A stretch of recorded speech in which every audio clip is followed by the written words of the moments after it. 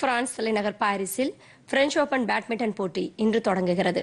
Denmark ஓபனில் காலிறுதியில் தோல்வியடைந்த இந்திய வீராங்கனை பி வி சிந்து முதல் சுற்றில் டென்மார்க்கின் ஜூலி டாவல் ஜேக்கப்சனை சந்திக்கிறார்.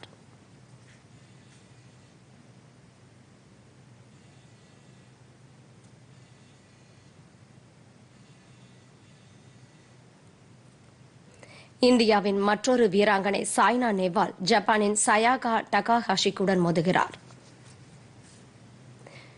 இந்திய வீரர் ஸ்ரீகாந்த் முதல் சுற்றில் உலகின் முதல்நிலை வீரரான ஜப்பானின் கெண்டோ மொமோடாவை சந்திக்கிறார்.